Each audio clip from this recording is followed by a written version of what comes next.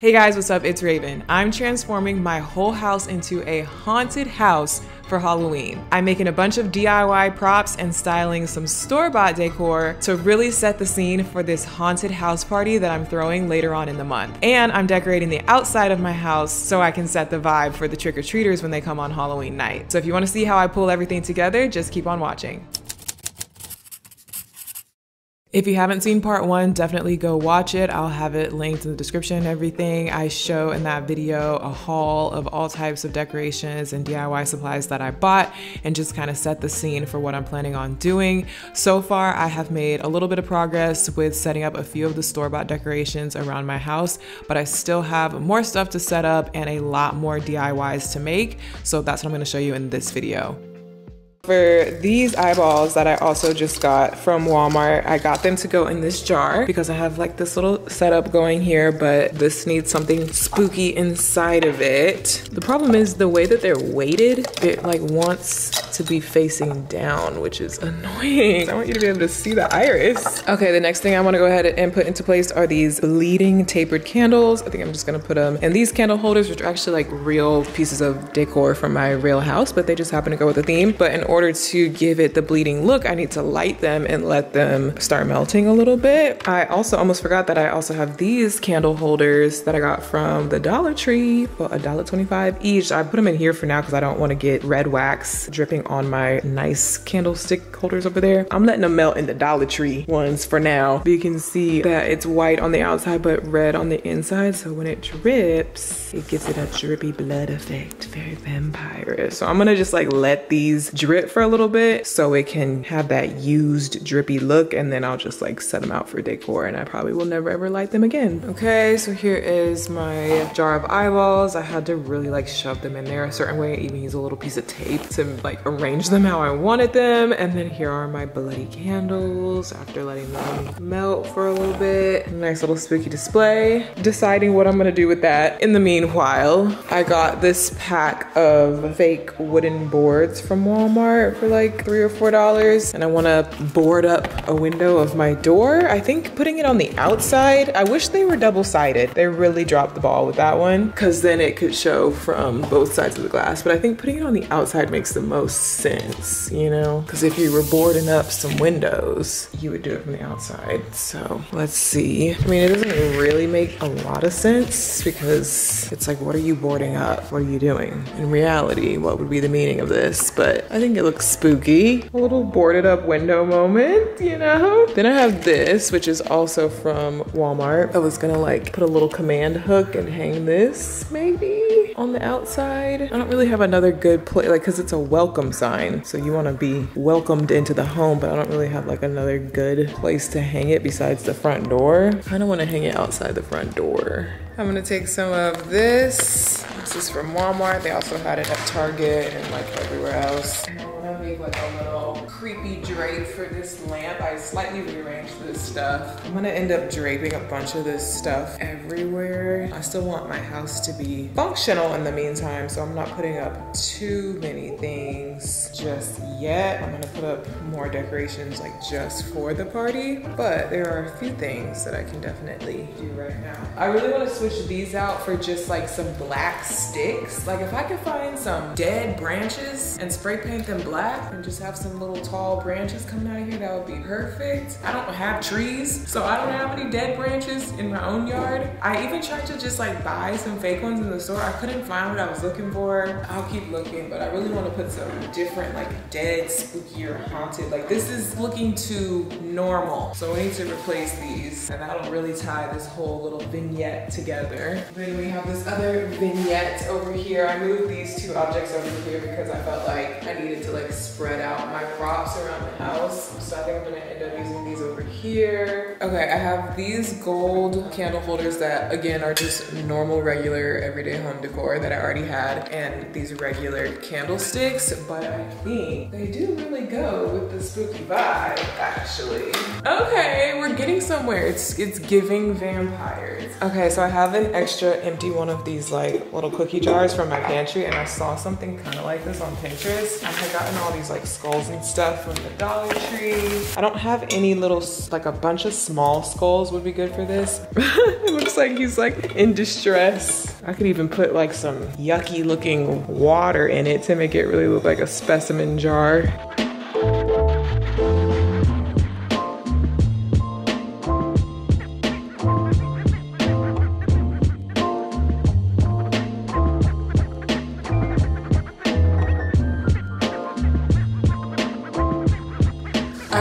Yeah dive into the DIYs today and try to knock out as much of that as I can. But first, I still have not made or sent out official invitations for this party, and it is October 6th. I like to send out invitations with plenty of time, you know, in advance because I have friends who come from out of town. They need to make travel plans and babysitting plans and all types of plans. So if I want people to be able to show up, I've got to give them a good heads up. So I really need to send out these invitations like today. I haven't even started on them. The past two years for my Halloween party, I've used Cameo to hire certain people to make like little videos to go with the digital invitations. First year was a 2000s party, so I had Soulja Boy. Second year, it was a movie themed Hollywood party, so I had Kel from Kenan and Kel. This year, it's a haunted house theme, so I looked on Cameo to see if there was any like, I don't know, actors who have played vampires or something that would go with the haunted house theme. I'm not really finding anything, so I don't think I'm gonna be doing the celebrity invite this year just because it doesn't really like go with the theme. Like if anything, I would want somebody to be like dressed up like a vampire, dressed up like a zombie or something and make a little video. But like, I don't know. I just feel like that's not really the move this year. So what I am thinking though is I can record my voice and then I can go in on the editing software and change my voice to sound like a monster voice. I'm gonna try it and then I can use that as like for the invitation video. You're invited to Raven's haunted house party. And then if I put a voice effect on it. You're invited to Raven's haunted house party.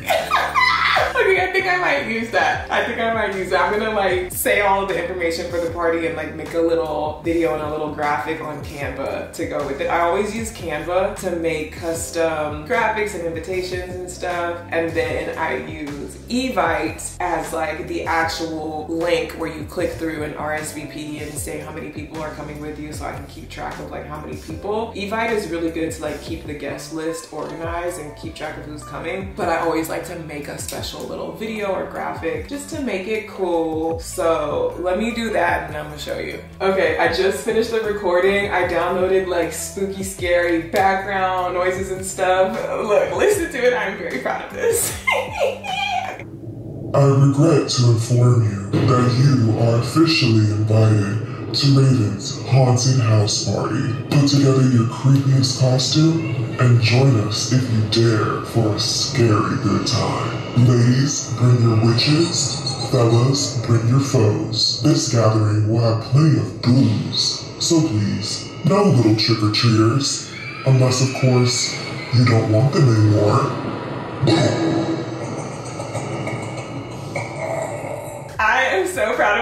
I just put that together in like 20 minutes. The all the talking part is my voice with, you know, the voice change. The little boo and the laugh, I actually found that, like downloaded it and it just so happened to like sound the same as my voice, so it all goes together. Then I added like thunder and lightning, scary ambient noise, the little witches cackle, the children screaming. Cause I was like, ladies, bring your witches. Get it? Fellas, bring your foes. Witches and foes. You get it. I said no little trick-or-treaters, no kids. This is an adult party. Unless, of course, you don't want your kids anymore because the scary monsters can eat them for you. You get it. Okay, so now I've got to make like the graphic that goes with it and that will be like playing in the background. So Canva has a bunch of, if you just do an invitation template and then you search in their template for whatever you want, whether it be beach, pool, Halloween, haunted house, vampire, they have a lot of like pre-made things where you can just go in and change the text to whatever you need to say. Boom, there you go. I tend to like to customize it. So I might take details from a few of these different ones on here and then kind of mix and match and combine them together and add my own little custom details to just make it my own. So I definitely want like the haunted house element in the background. I think I might change this font here because it's not as, you know, scary. It looks a little bit more childish. So I might take a font off of this other one and maybe take some of these other details and like drag it onto this one just to kind of combine it. Same thing with this one and then kind of change the colors. So let's see what I come up with. Okay, I just finished the invitation video. I'm gonna play it for you now. I regret to inform you that you are officially invited to Raven's haunted house party. Put together your creepiest costume and join us if you dare for a scary good time. Ladies, bring your witches. Fellas, bring your foes. This gathering will have plenty of booze, so please, no little trick-or-treaters. Unless, of course, you don't want them anymore.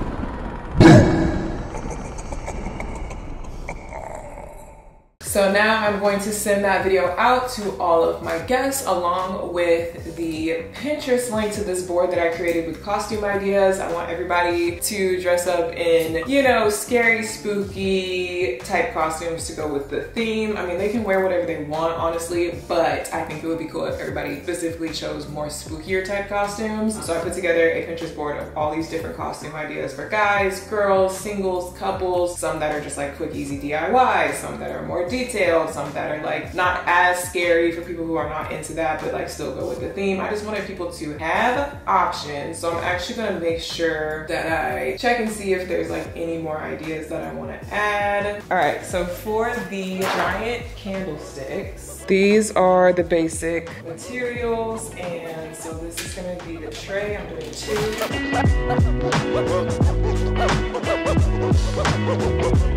two.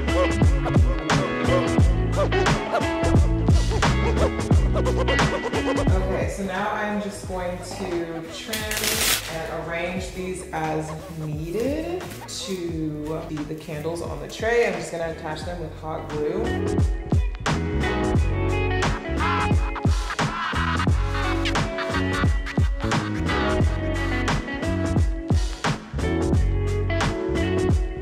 So this is the general idea, a bunch of giant candles on a tray. Now to make them look like they've been melted, I'm gonna use hot glue to add the drippy texture. I also have a caulking gun left over from a previous project that can give that goopy look. And I thought it might be better to use some of this instead of trying to use so much hot glue.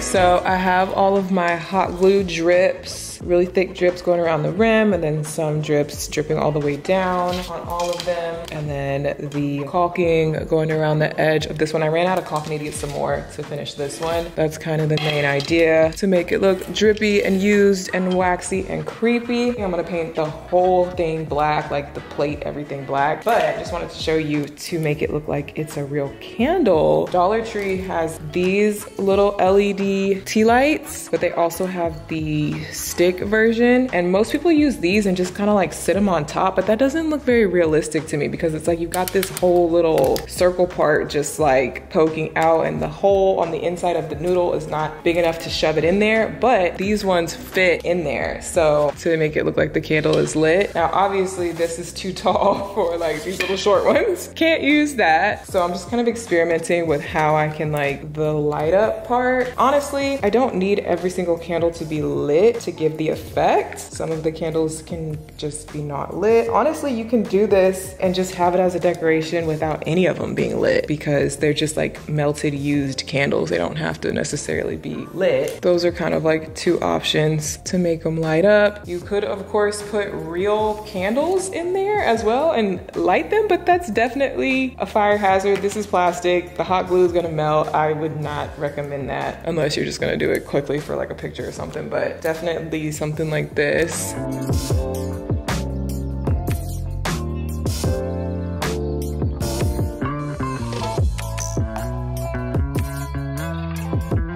Okay, I painted my candles while those are drying or whatever. I had an idea, or I kind of saw it on Pinterest, let me not lie. I thought if I take these plastic skulls and these plastic bowls, maybe I could make a little thingy, like the thing you're seeing on the screen now.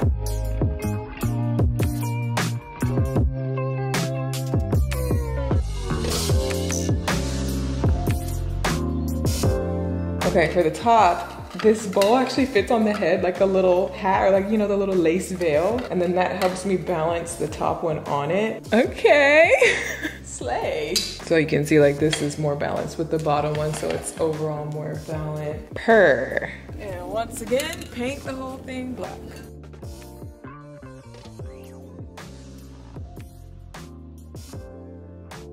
Okay, so Ziya helped me add some razzle dazzle to the border of the plate, some spiders and gems just for some fun. So here's pretty much the finished product and the other matching one over here. And then like I said, I will figure out how I wanna make them light up depending on which Dollar Tree lights I wanna use and stuff like that. Or I might just not have them light up because I mean, they're cute as is. I have them here on the table for now. And then I also included my little candle holder. I put a candle in there. Turned out pretty cool, if I do say so myself. It's very lightweight plastic from the Dollar Tree, but it looks like a real thing. So I just put all that together as like a big long tablescape for now. Now for my next project, I'm gonna make these paper bats. I bought some glitter cardstock paper, this chunkier glitter that's like really reflective, this finer glitter that's also pretty reflective, but just in a different way. Then I also have just plain black cardstock paper and I'm going to use my handy dandy Cricut to cut out the shapes for me. The first time I did this, I did not have my own Cricut machine and I just drew the shape and cut it out with scissors, which is totally doable, but I wanna make a lot of these. So the Cricut cutting them for me is really gonna come in handy. So on the Cricut software, I just searched BAT. They have tons of stuff you can use just already on here and there's like different little versions. So I'm actually gonna do like a few different ones just to have variety and see how many I can cut out with like a few sheets of paper. So here's all my little bat shapes. I'm doing slightly different sizing as well because I just want like a variety. Okay, first test cut. Cute so cute. I'm gonna make a whole bunch of these. Okay, so I'm gonna get started with some of these glitter bats that I cut out. I'm still gonna cut out more and just do some with regular paper, but I'm gonna start with these. I have these little sticky glue dots. They're like balloon dots, double-sided sticky things. You can also use double-sided tape, whatever is not gonna damage the surface. And I wanna make it look like the bats are like flying out of the fireplace and like maybe circling around the TV or something. So I'm gonna start like placing a few.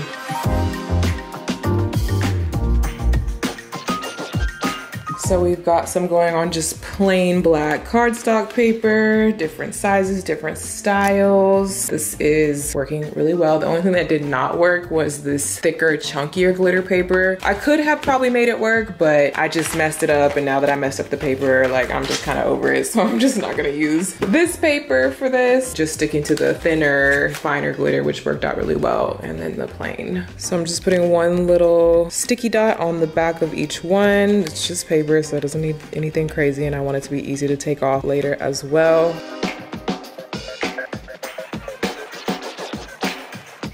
And voila, here are my bats flying out of my fireplace. I think it turned out super cute. This little thing with it. Some of them are glittery, some of them are not. Cute. I'm doing the burning bones to go in the fire pit. So I'm using the lid to the fire pit to trace out the size for like the pile to fit inside the fire pit.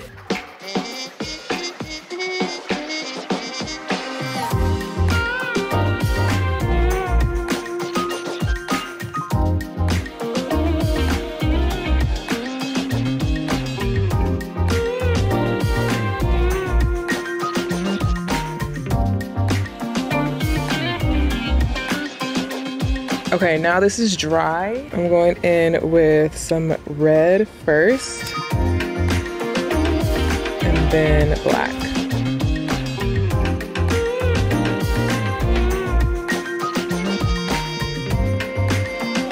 Okay, now that the paint is dry, I'm gonna cut it out. It's stuck to the cardboard, so I need to cut it out. I can't like peel it off.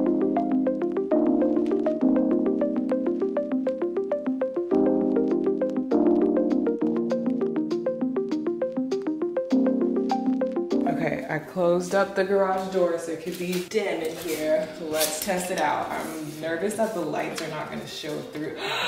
Oh my God, it looks perfect. I was not expecting expecting to look that good. It actually looks like what it's supposed to look like. That's so cool. And it's gonna be dimly lit. It's gonna be a nighttime party. So it'll be like dark around it, which will make it look even better. I love that. That's so cool. Oh my God. Okay, cool.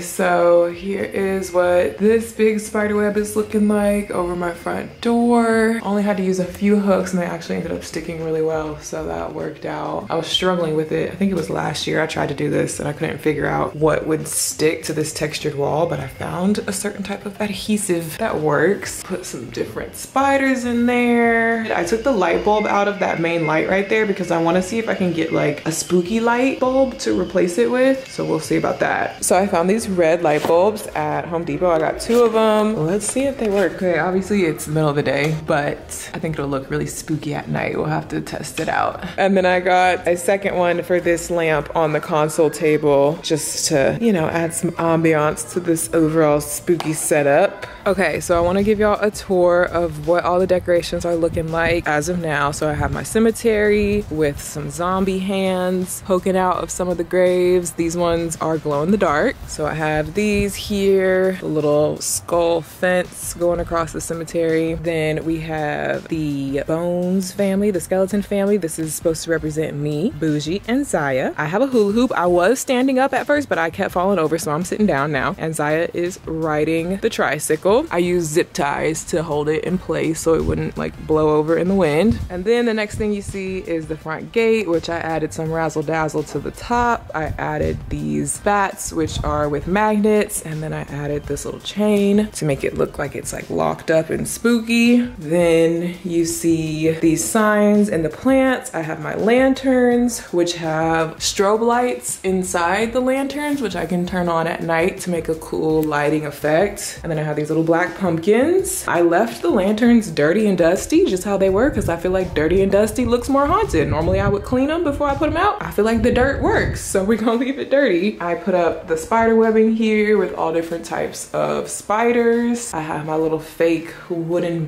boards on the glass. And then I added these little spooky light bulbs, which I might change that because it doesn't make a whole lot of sense. It's like, why do you have light bulbs hanging on your door? Like, what is the meaning? But they are sound activated. So they will make that sound and flicker the light whenever activated by sound. So any loud sound will make it do that, as well as my little sound activated tarantula that I hung above the door is also sound activated, but it takes like, you have to clap your hands or yell really loud or slam the door or something to activate both of those things.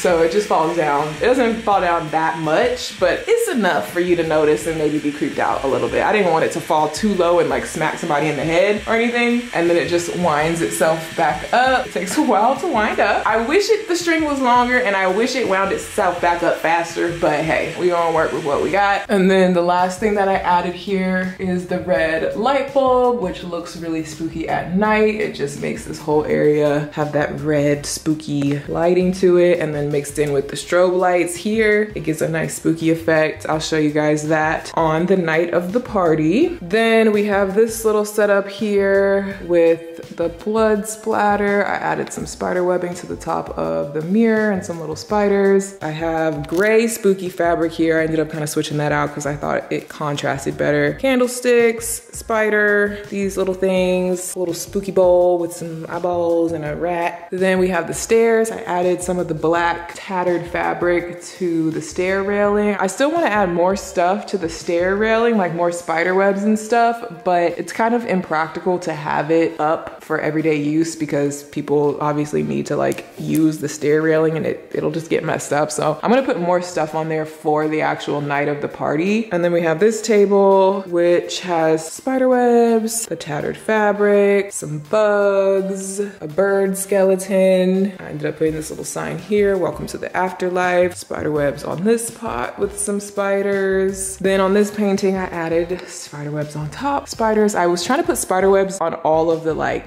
tops of everything because I feel like realistically that's where it would be. Then walking into the living room, I have my spider web table runner on the coffee table, which is from Amazon, a little spider, a little skull. I attached this bat to the fan. And so the bat is like flying in the middle of the living room. I think this looks really cute. And from this perspective, when you're sitting on the couch watching TV, this bat kind of like goes in line with these bats, which is kind of a cool effect. Then we have some tattered fabric here, some more spider web and spiders here on the top of this painting. I definitely plan on adding a lot more stuff to this glass here, but that's gonna be more so like just for the night of the party. So I'm waiting on that. I added spider webs to these lights. And then over here on the dining table, I added the tattered fabric to all of the chairs just because I had a lot of it left over. Added a black table runner. I have my DIY jumbo candlesticks here with this beautiful border that Ziya put on here. And then I added some extra bugs. And I have my little Dollar Tree candlesticks that will make it light up. And then my Dollar Tree skull candle holder tower thing. And there is spider webbing all over this light fixture as well with a big fuzzy spider hanging down. And then there's a few little Easter eggs elsewhere. I added this guy popping out of this plant. I added this spider on the fruit basket. I have this little like specimen jar, which I think I wanna like put like green water in here and maybe put some little eyeballs in here and just make it extra spooky and maybe make a few more of them because I have some more extra glass jars like this. Oh, I do have a few extra little random things. I had these things, which I just hung on my office door because I didn't know where else to put them right now. And then I have these ones in this bathroom, which I have more that I want to add in here, like more of those types of things. And then I was playing around with this other set of stickers, which I figured out do not look very realistic on glass, like on a mirror or on a window. It shows the border a lot, so it doesn't look realistic, but it looks a lot more realistic on something like this, like a solid color thing, like not clear glass. So I just ended up putting that one there. So I have a whole pack of these that I'm gonna put all over the house, but I don't wanna put them now because that's more like actually scary and realistic and just for the party. I don't wanna have it up all the time and like freak Ziya out. But for now, I put them in here where she doesn't ever come in here, so it's fine. Okay, so I'm working on the wine bottle candle DIY. My mom gave me these wine bottles and if they're like different colors or if they're just clear to make them look more spooky, you could just spray paint them black. I don't think I'm gonna end up needing these extra ones. I'm just gonna use these darker tinted ones and I think I'm just gonna leave them how they are. I don't feel like I need to spray paint them, but I am just removing the labels. This one I already removed and I'm just using the blow dryer technique. So put your blow dryer on high heat and it'll melt the adhesive behind the sticker so you can peel it off really clean. Just get something to get it going on the corner. If it's not coming up clean, you need to put more heat. Usually I can get it off in one piece. This one was being a little difficult, but you can just heat up these extra spots and scrape them off. I also have these smaller olive oil bottles, which have the labels printed directly on the glass. There's probably a way that I could get that off, maybe with like acetone or something, but I think I am gonna go ahead and just spray paint these black to just cover that up easier.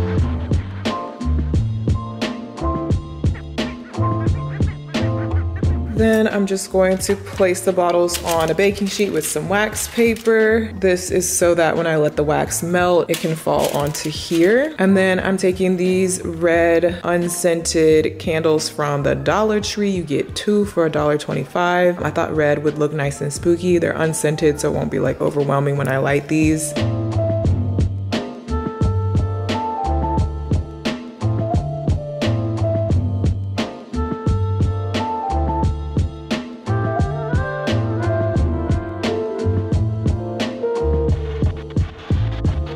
Okay, so what I've learned from this DIY after letting the candles melt for a couple hours is that if you want a lot of wax buildup on the bottle, you're gonna have to melt like a whole first candle just to get the wax buildup, then put a second candle for the actual candle because just from this one candle melting halfway, it didn't give that much drippage, but I don't have any more candles. Maybe I'll go back and get more candles to make it more drippy, but this is the effect you're gonna get just from one candle. I think they still look cool. They still look spooky and when they're mixed into everything else, it'll look fine. But just a little heads up, it takes a lot of candles to get that much wax buildup. It is October 10th and so there is still 19 days until my Halloween party and then a couple more days after that until actual Halloween when the trick-or-treaters and stuff come. So we still have quite a while. So that's why I keep saying like there's certain things I don't want to put up just yet because in the meantime, you know, Ziya still has to live in this house and not be scared of her own house. I still have people coming in and out of my house that like I don't want to freak them out and I don't want them to be like, what the hell? So I'm saving a lot of stuff just for the night of the party. And I'm just kind of like, you know, trickling it out, you know, in the meantime. Oh, there's one other thing that I didn't show you guys. Well, I guess I did show you guys earlier, but my little fire pit burning bones, I ended up putting it right there on the coffee table because I think I am going to incorporate the patio as part of the like party area. And then I still have all of this DIY supply of mess left out because I'm still working on more DIYs. I have a few main DIYs that I still wanna do. I really wanna do this DIY, which is a life-size spooky grandfather clock. Wish me luck, but I've started to collect materials and recycled boxes and stuff for that. It's like all made out of like cardboard and styrofoam and just recycled materials. So we'll see. And then I wanna do this DIY, which uses balloons and a white yarn and little plastic spiders. So I have all the stuff for that as well to make the spider egg nests, whatever you call it. And then the last main one that I wanna do is this DIY where you take a bunch of recycled materials and you wrap it in black trash bags with duct tape to make it look like it's a dead body wrapped up. But that one I'm definitely saving only for the night of the party because I can't be having a dead body prop just lying around my house in the meantime till then. Like I do not want anybody to call the police to my house. And then other than that, I just still have a lot more of this spider webbing stuff and little plastic spiders that I can just kind of put, like I said, I wanna put some on the stairs, up on the balcony, just hang it from everywhere. And then that'll pretty much be the finished look. Hopefully I can get all that stuff done just you know, for the party at least. So yeah, definitely stay tuned for my next few vlogs. I'm gonna be showing everything about me and Ziya's costumes. Um, I'm doing a vampire costume and fairy princess costume. And then of course I'm gonna show you like the rest of the DIYs and how everything else turns out with the decorations. And then I still have to show you everything for the actual party as far as the Halloween themed food and drinks and everything. So I'm gonna be vlogging the whole rest of everything. So just stay tuned. Just stay tuned tuned because I have a lot more coming. And in the meantime, you should definitely follow me on Instagram, but especially TikTok because I'm gonna be posting a lot of like sneak peeks and mini tutorials and mini recipes and like little blurbs of content. You'll get the content quicker on TikTok. So definitely follow me over there. But that is all I have for this video. Wish me luck with the rest of my DIYs and I'll see you in the next one.